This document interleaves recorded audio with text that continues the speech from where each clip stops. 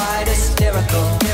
Everything around me transpires As I fulfill my darkest desires